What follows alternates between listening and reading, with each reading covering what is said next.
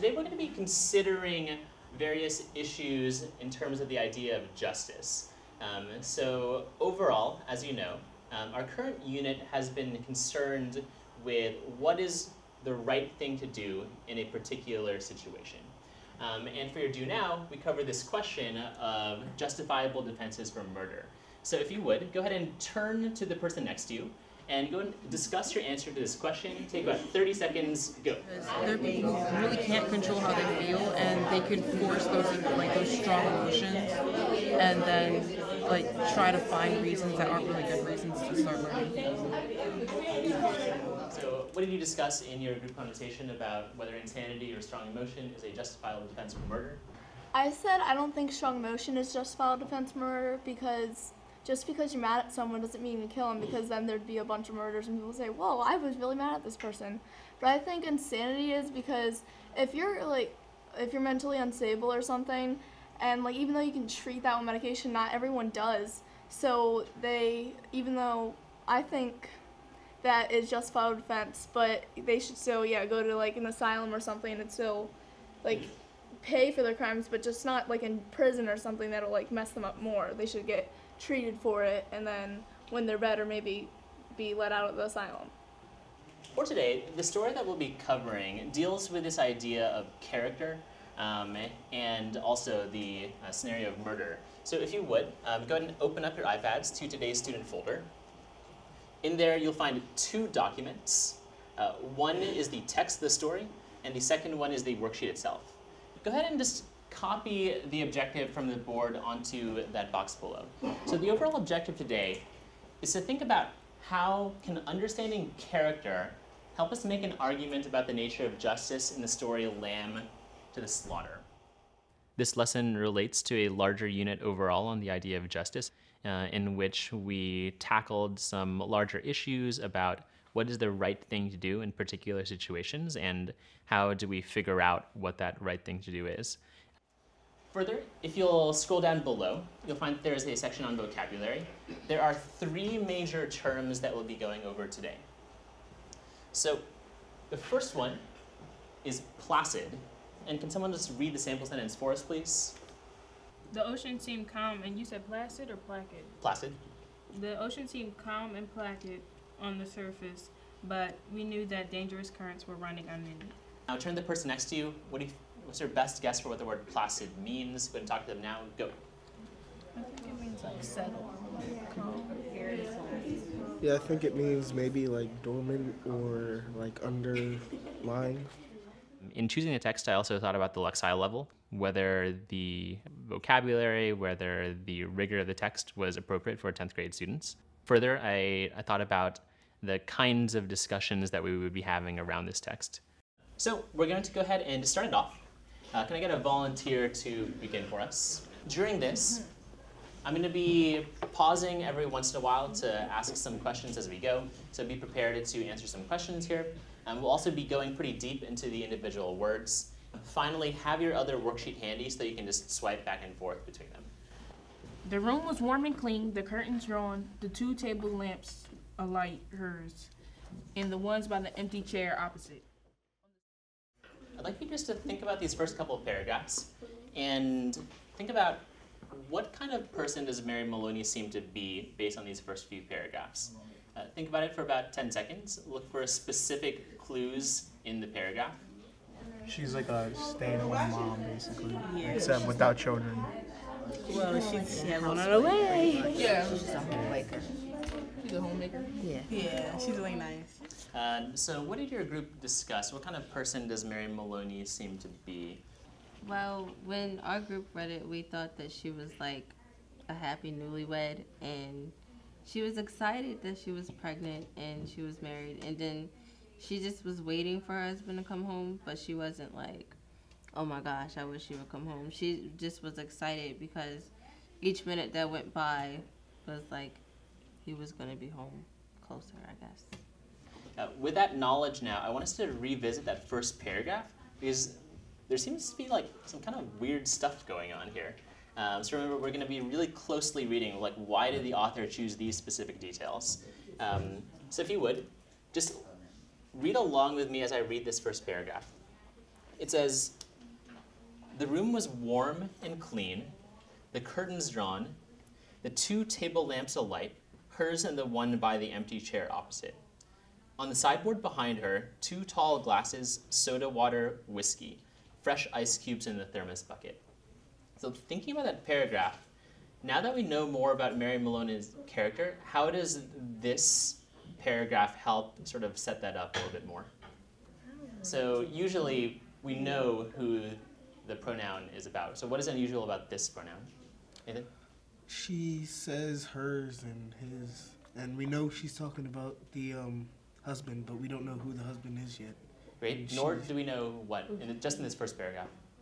Uh, like, I mean, we know her name, but we don't know who she is. Like, Do we know her name in this first paragraph? No. Oh no, we don't.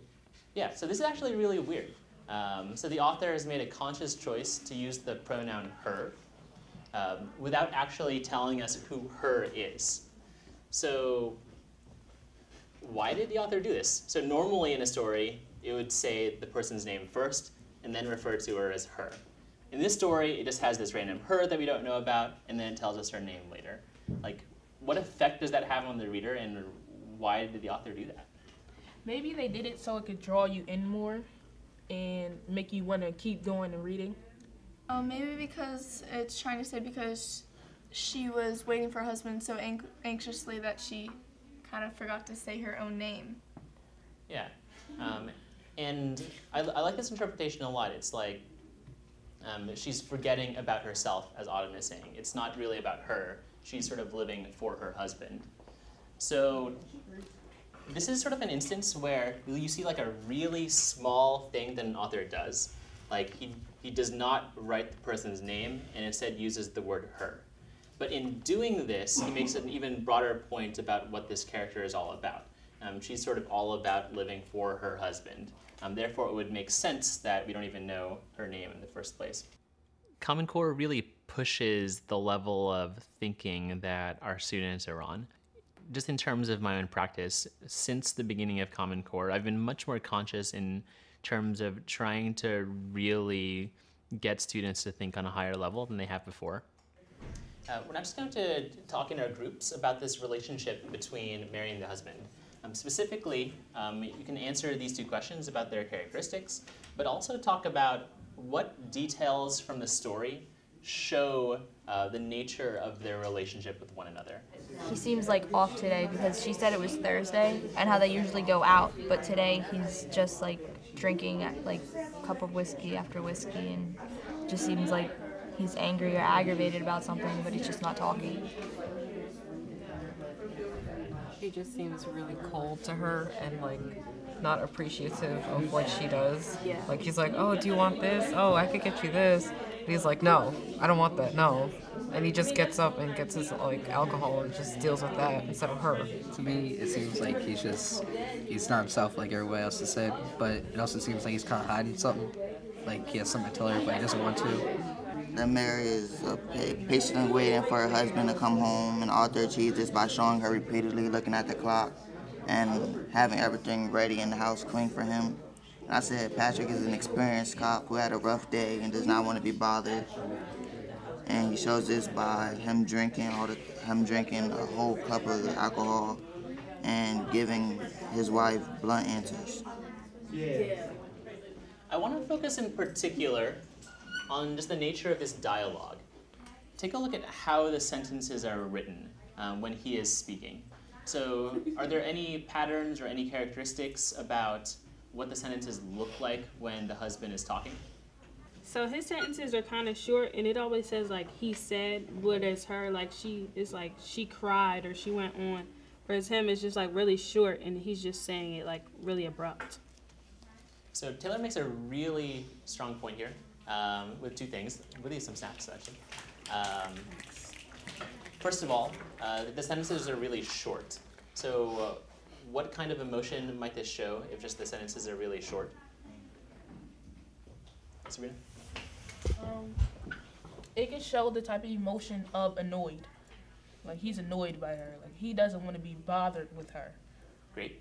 And then the fact that all of the things that he says are just introduced with he said. So if you would go through this page underline every time it talk he talks, and notice that it just says he said, he said, he said. And then just notice whenever she speaks, what are some examples of ways that the quotations are introduced when she speaks? Generally, doing this kind of close reading is uh, more difficult uh, because you're often asking students to do things that they haven't been asked to do before. In order to really approach the rigor of the Common Core, it's not just sort of about understanding the author's meaning or just like comprehending the text, but going even deeper into seeing the way that the author creates that meaning.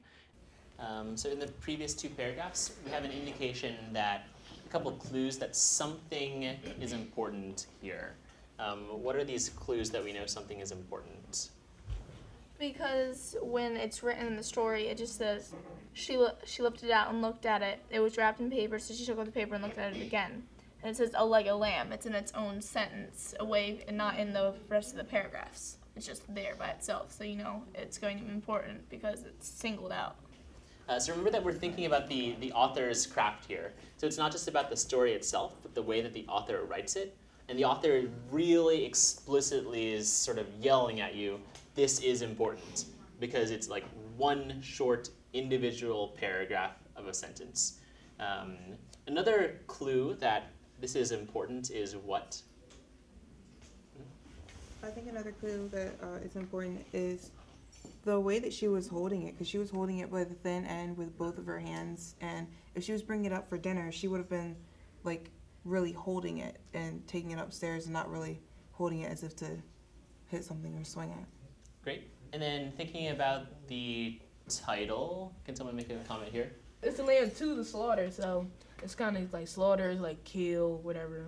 And it's a leg of lamb, so maybe she's gonna kill him with the leg of lamb. So, important points to just be thinking about here. Like, whenever the a word or a part of the title uh, appears in the story, like indicator that something is going on. The students that I have are, are generally on a career and technical track, and so not all of them uh, came in with the goal of wanting to go to college or pursuing higher education, but we just wanted to make sure that in uh, this lessons that we teach and the academics that we do at the school, um, we are able to leave them with options at the end of their senior year. So, rereading that paragraph, what is sort of unusual about um, the ways in which it's written? Instead of ending the sentence, it, there's there's commas and semicolons. And uh, so instead of just like it's a long run out sentence, and it kind of shows that her thinking it's erratic and irrational. So she's like she her mind is racing and she can't really have a straight thought. So she keeps thinking and thinking and thinking and thinking. It's almost like the author's um, writing as she's thinking. So she's like, like, at the end she says, mind you, she wasn't expecting to to find anything. Like she's almost reminding herself that nothing, or she's not supposed to know that her husband is dead on the floor when she gets home. We've taken a complex paragraph, uh, one that transitions from uh, like long run-on sentences and then suddenly goes to short sentences with lots of periods. Um, and we've connected that to a larger point about this character. At first, she seems frantic, erratic, thinking this way, and then she calms herself down, reminds herself to sort of be reasonable, and reminds herself more rationally of what she's doing. Uh, so the broad point here is that when we're thinking about the author's purpose, like the author is really consciously using things like how he writes sentences to make a broader point.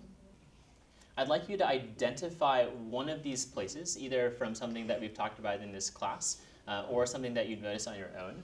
Uh, what is one point that the author does something in particular with his style, uh, the way he writes his sentences, um, to make a point about the characters in this story? The way that Common Core is pushing us to teach really does return to uh, what I imagine English education should be in the United States.